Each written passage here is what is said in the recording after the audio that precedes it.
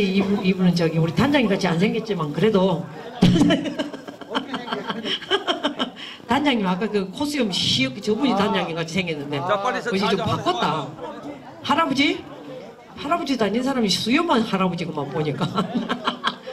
자 우리 평택 풍물단 단장님. 자 우리 여러분과 또 이렇게 또 많은 어, 네, 공연물을 준비해서 너무 감사드립니다.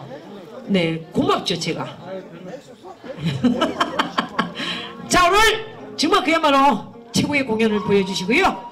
또 특히 대보름을 맞이해서 달이 떠오르기 전까지 함께 해 주시기 바랍니다. 자, 네.